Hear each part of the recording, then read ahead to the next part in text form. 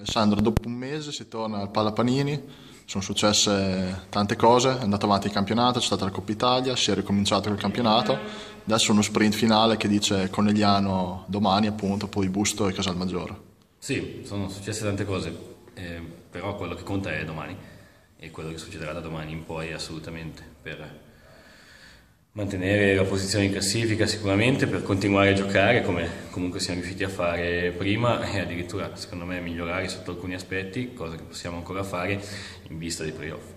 Che tipo di lavoro ha ripreso questa settimana? È stata la prima settimana diciamo normale dopo tanto tempo, c'è stata la Coppa Italia in cui c'è stato un periodo di avvicinamento dove avete caricato molto attesa dei quarti, poi dopo un altro periodo intermedio in attesa della Final Four. La scorsa settimana ovviamente è stata particolare, questa insomma si torna questa a normalità. È stata la prima settimana normale da, da, parecchio tempo, normale tipo standard.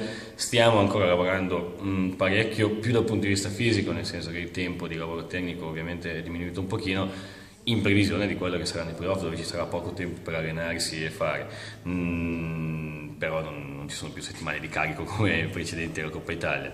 È stata finalmente una settimana con allenamenti mattina pomeriggio di palla completa, totale, ci mancava da un pochettino e adesso le prossime settimane saranno tutte uguali, proprio in previsione di arrivare ai playoff nella migliore condizione tecnica, tattica e fisica possibile.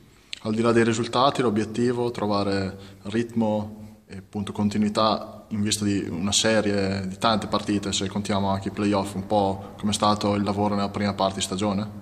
Sì, sì, cioè assolutamente la continuità è la consapevolezza di alcune, alcune, caratteristiche che abbiamo che dobbiamo portarci adesso. Con noi c'è poco, l'avevo già detto prima della Coppa Italia, c'è poco più da aggiungere. Eh, abbiamo provato a inserire qualcosina, stiamo provando più che altro a perfezionare alcune, alcune cosine. Alla fine guardando proprio solo la partita di domani, Conegliano, squadra forte, che però ha concesso in questa prima parte di stagione, in questa lunga parte di stagione, diciamo magari qualcosa in più di Novara?